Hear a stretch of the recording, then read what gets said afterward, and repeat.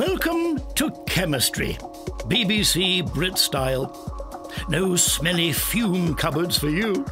Simply create your own reaction from a set of chemical ingredients, and we'll show you the result in all the glory we can muster.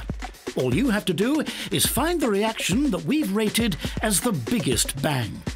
Such advanced chemical tinkering does, of course, require one of these a tame chemist.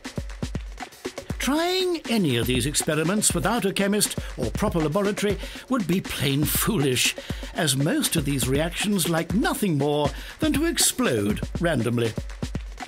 Do feel free to share this page if you fancy a bit of healthy competition. Then go ahead and click on your first ingredient. One thing.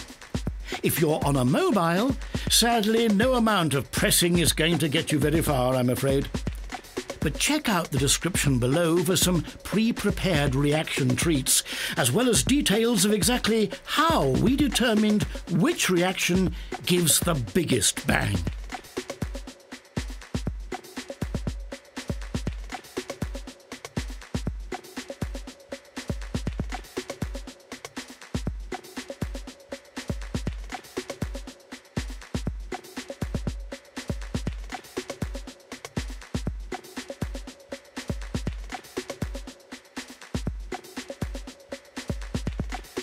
And for your second choice, that'll be ingredients just there on the shelf.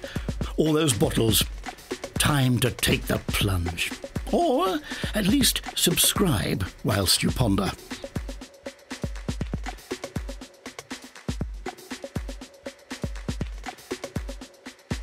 And for your second choice? Hmm, tricky decision. Go on. What's the worst that could happen? Or to look at it from another more pertinent angle, the worst that can happen can only happen to our tame chemist. So, click away.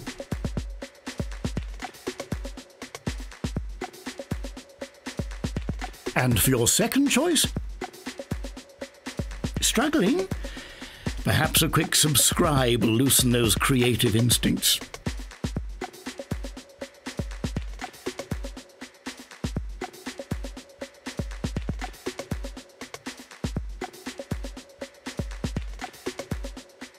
And for your second choice,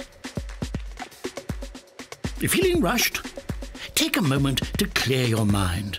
Perhaps subscribe whilst doing so, then I guarantee the correct option will seem obvious.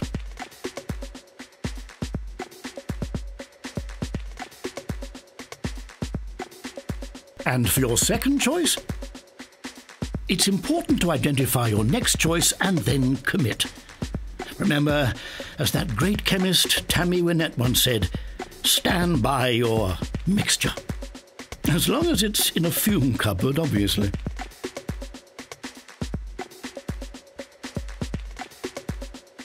And for your second choice? So much variety always makes deciding difficult. I always say, follow your gut feeling. It's never sent me wrong. Although it might also be why I spend a lot of time eating cheese sandwiches.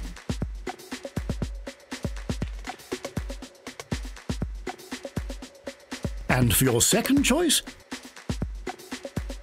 I hate to press you, but uh, time to click on an option. So many potential reactions so little time.